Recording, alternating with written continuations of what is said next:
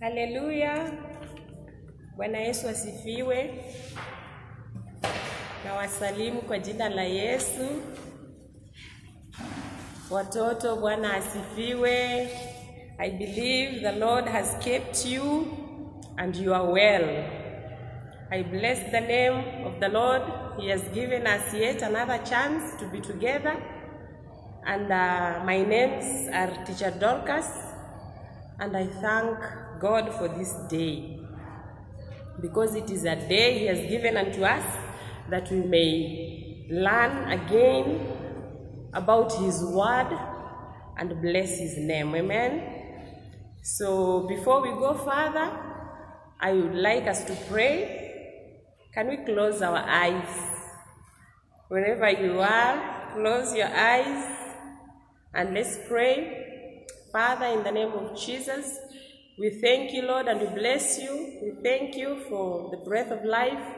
Yet another day you've given unto us, Jehovah God, that we may rejoice and be glad in it. We commit ourselves unto you. Even as we begin, Almighty Father, we surrender ourselves to you. Holy Spirit of the living God, go ahead of us. Prepare our hearts, prepare our minds, that, Lord, whatever we shall learn shall be useful and helpful unto us. We thank you for the children. You've preserved them, Almighty King of glory. May your name be exalted. We give you praise, we give you glory, we give you honor. For we pray, trusting and believing in the name of our Lord Jesus Christ, and we all say, Amen. Amen. We thank the Lord. He has given us another day. Amen. Now, before we start, I would like to remind you to make sure that you have your Bible with you. I have mine here, and also your notebook. I have mine and a pen. Okay? So make sure you have the three very important items with you as we begin. And as you prepare to bring your items, I would like to sing a song for you. And if you know the song, we can sing together. Amen. The song is Standing on the Promises of God. It goes like this Standing on the promises of Christ, my King. Through eternal ages, let his praises ring. Glory in the highest, I will shout and sing. Standing on the promises of God.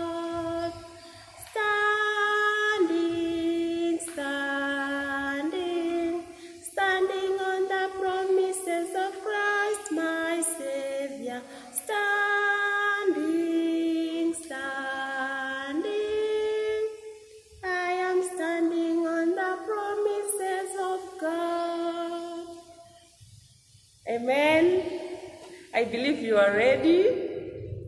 So let's remind ourselves what we learned last Sunday. Who can remember the topic of last Sunday? Amen. Yes, it was faithfulness.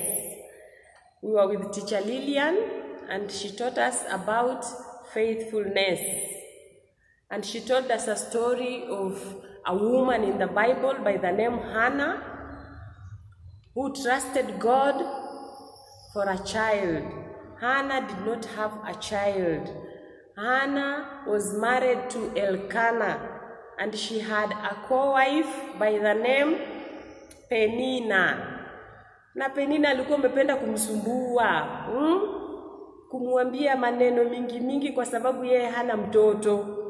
But Hana alikuwa ameamini kwa moyo wake kwamba Mungu ambaye ni mwaminifu ana uwezo wa kumpa mtoto, na walikuwa wanaenda kwa mwaka, walikuwa wanaenda kutoa sadaka, na wakati ule alivyoenda akaomba Mungu, akamwambia Mungu, naomba unipe mtoto, na huyu mtoto ukinipatia nitamregesha tena kwako apate kukutumikia na Mungu alimbariki Hana na mtoto ambaye jina lake ni nani? Amen. Nimesikia umelitaja ni Samueli. God blessed Hannah with a son by the name Samuel. And we know Samuel was a mighty prophet of God. Amen.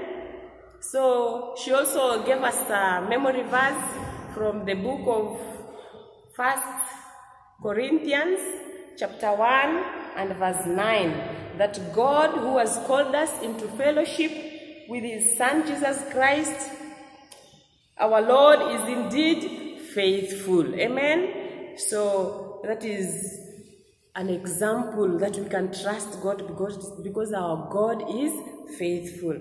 And today we want to learn from another topic in the Bible.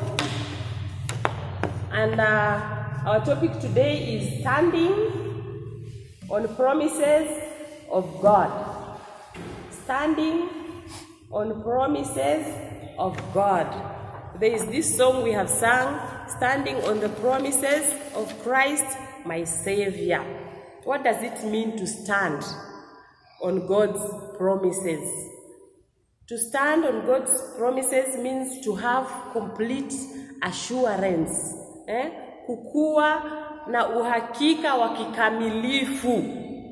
Have complete assurance that God is able to bring every promise that he has given unto us to fulfillment.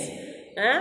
Kukuwa na uhakika ya kwamba Mungu ambaye ametupa ahadi ana uwezo wa kuzikamilisha kwa maisha yetu because yeye ndio amefanya ahadi na Mungu ana uwezo wa kufanya hizi ahadi zikuwe zitendeke ndani ya maisha yetu. Amen. So he is a faithful God and uh, to live in one to live a life that is faithful in service to God. Katika kuamini ya kwamba ataleta hizi ahadi kwa ukamilisho, tunafaa kuishi maisha ambayo yanalingana na vile Mungu ametuahidi. Matendo yetu yakuwe yanaelekea kulingana na ahadi zenye Mwenyezi Mungu ametupatia. Amen. And uh, we want to look at an exa at uh, one example in the Bible and this example comes from the book of Genesis. We can open our Bibles.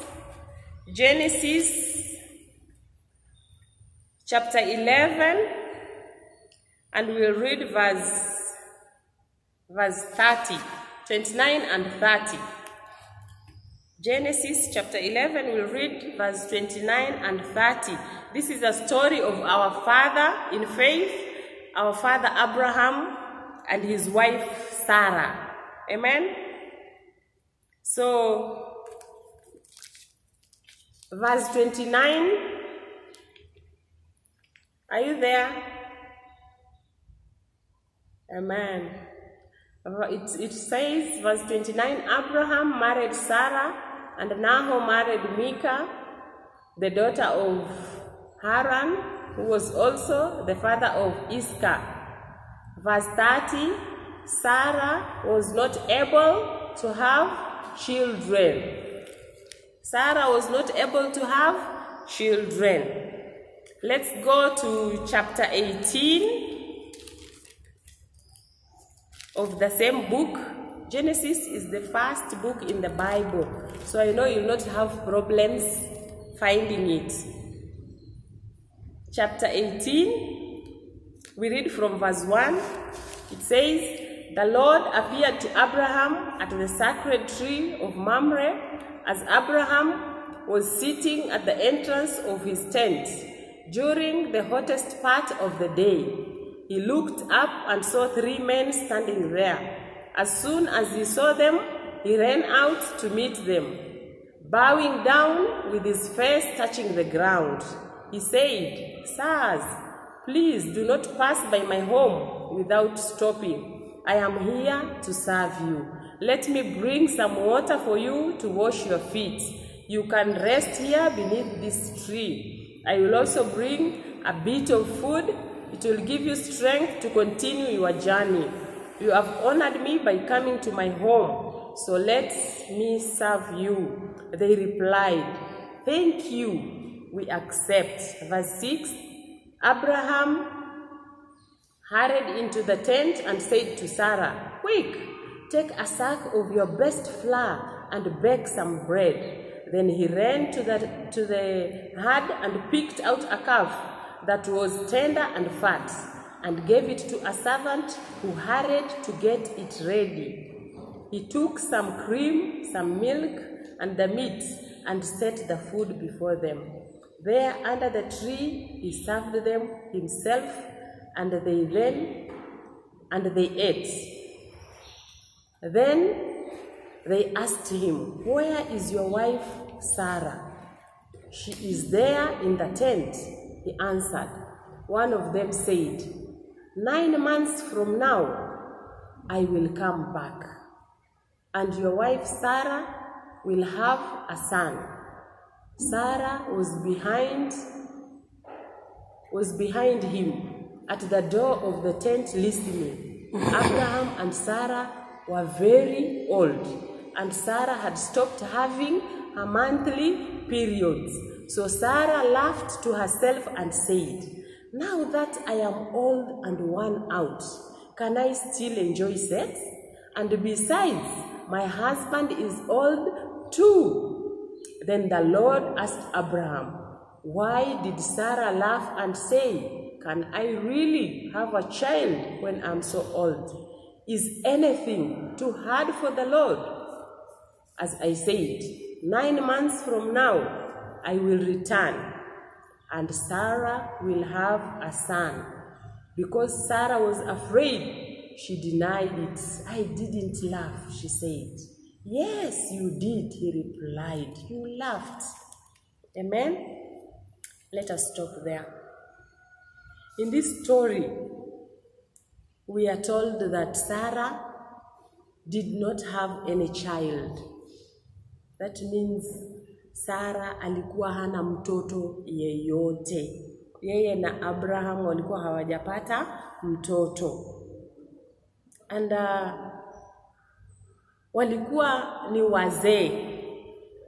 Halo, tushaona shosho shosho yetu eh? Nywele yake inakuwa ya kala white na uso inakunjika kunjika mm? na vile alikuwa ya zamani anatembea straight, sasa hivi anatembea kama amekunjika kidogo, saa zingine na kijiti. Sarah and Abraham were old but they did not have a child and we see the Lord coming to Abraham and promising them a child. And you know, sometimes ukisikia kitu unaanza kujiuliza na eh, hiyo ni kweli Eh, na itatendeka kweli eh? Tumeona Sara akijiuliza hilo swali, akijiangalia kimwili. The, the Bible tells us Sarah was old and she was past the age ya kuzaa. Unajua mama, kuna mahali ikifika hauwezi pata mtoto tena, lakini hiyo ni kimawazo yetu. Mawazo yetu si kama ya Mungu.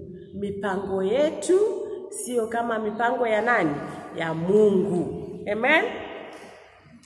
So Sara alijiangalia na akaona kulingana na vile niko na miaka yenye nimefika I do not think it's possible. She doubted. Eh? The Bible tells us she laughed. Eh? Unajua unaweza cheka kwa sababu umefurahi na unaweza cheka kwa sababu hujaamini. She laughed because she doubted that word. Hmm? There are things in our lives that have waited for long, like Sarah.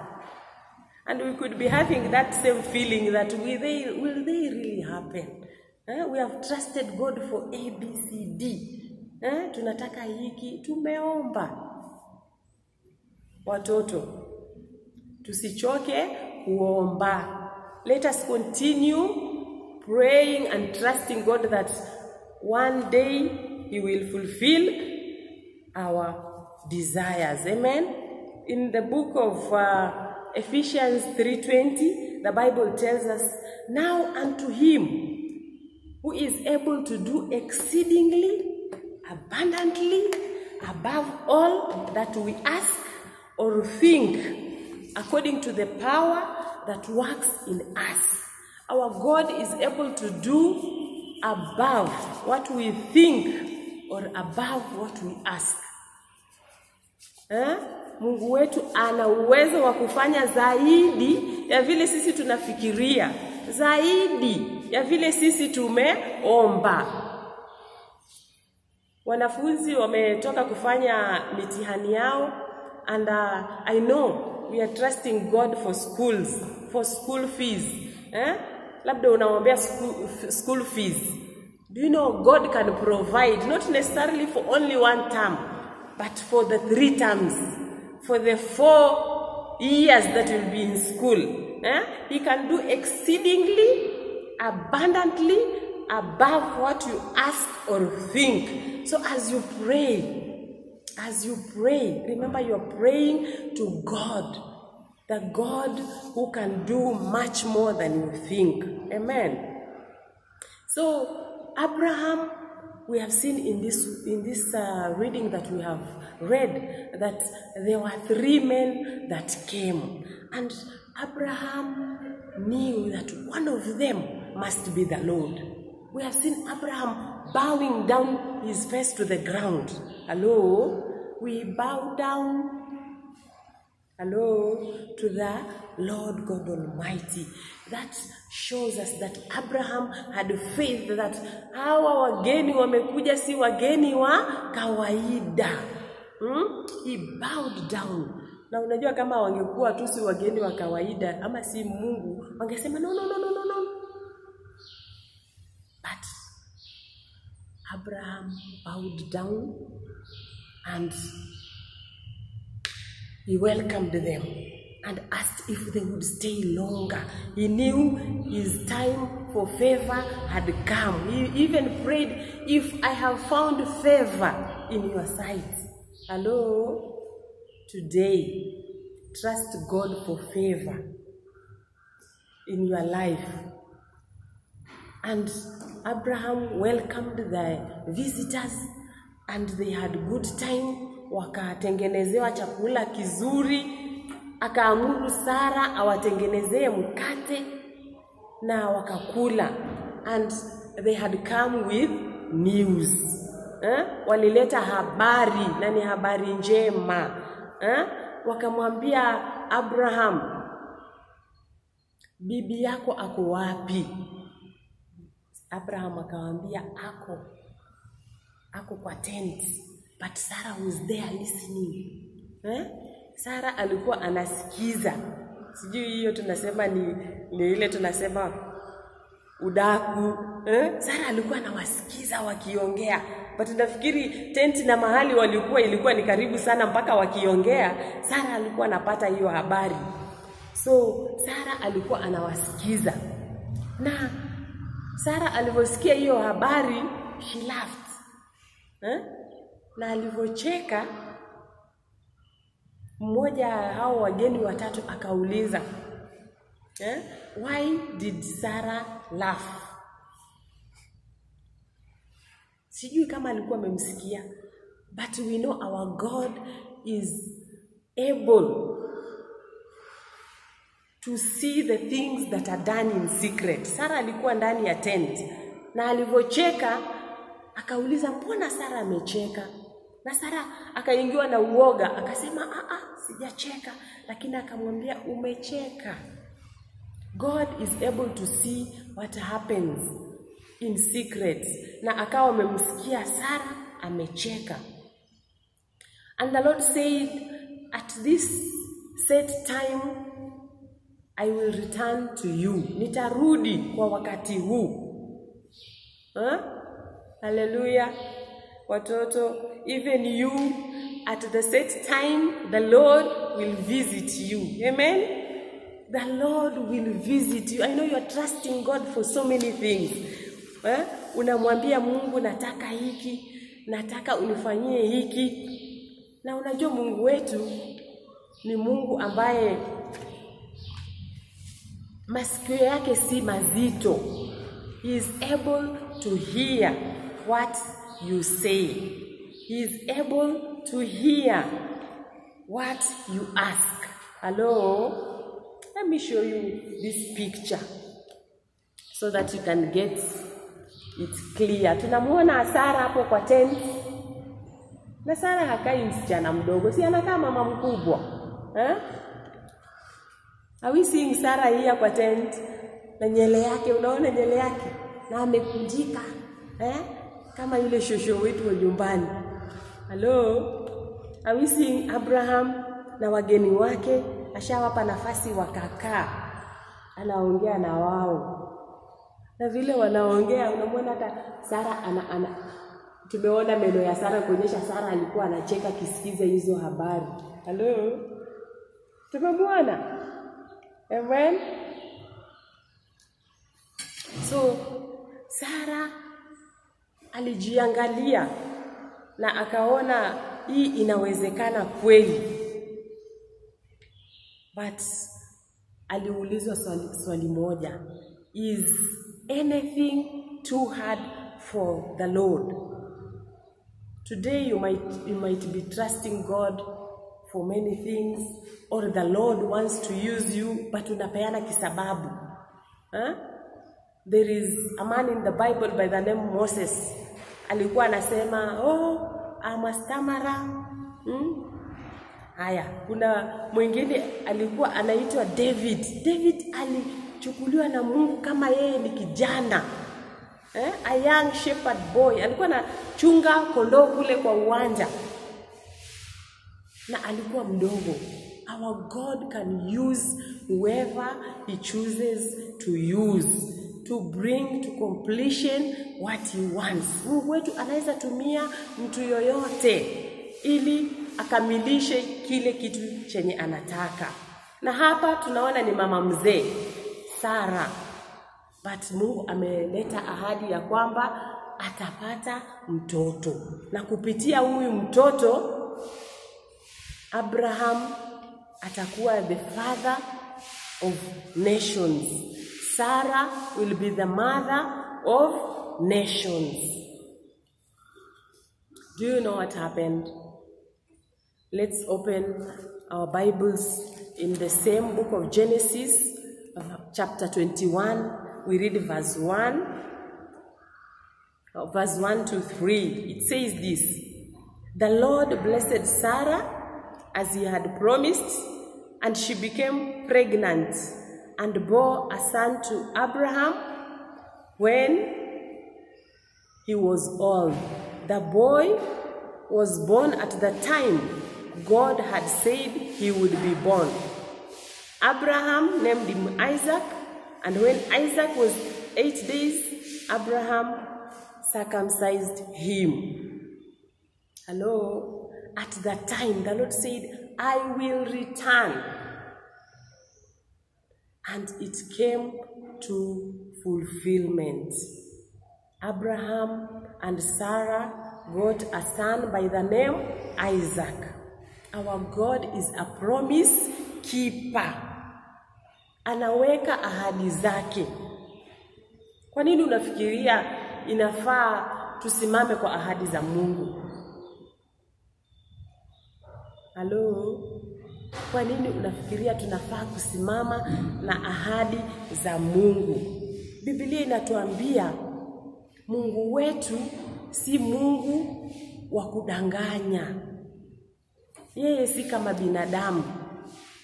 So because of the nature of God, God cannot fail to keep his promise. He is a faithful God and he keeps his promises.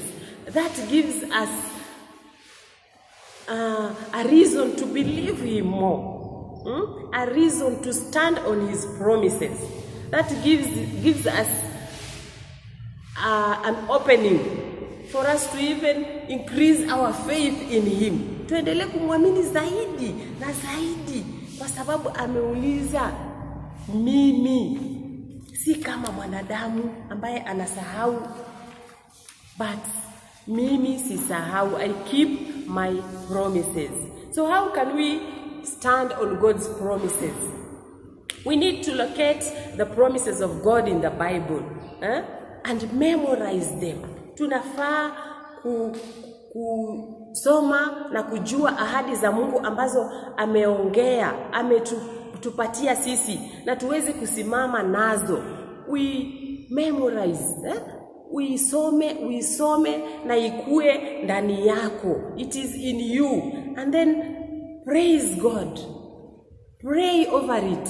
Eh? as you praise god praise god with that promise and pray over it. As you wait in delight. You know there is waiting. So you have to be patient to wait. That day will come when the lord will fulfill that promise in your life. So as you pray over it. Sometimes mwingine anaogopa eh? uko na uoga eh? omba mungu kwamba akuondolee huo uoga. Labda we ni mgonjwa labda una mahitaji labda unaombea uokovu. Mjomba yako ama nyanya yako ama mama yako hajaokoka na unaambia mungu mi nataka waokoke. Halo locate the promise of the god of the lord and pray over it and believe that as you speak that promise it will come to fulfillment in your life amen amen God is never late. God is never late. All of us are the children of Abraham. And those who receive God's promises believe and stand in them like Abraham did. So, kuna nyimbo inasema Father Abraham has many sons. Many sons, oh Father Abraham, I am one of them. And so are you. So let's just praise the Lord. Hello. We are children of Abraham. And as we receive God's promises, like Abraham did, he believed.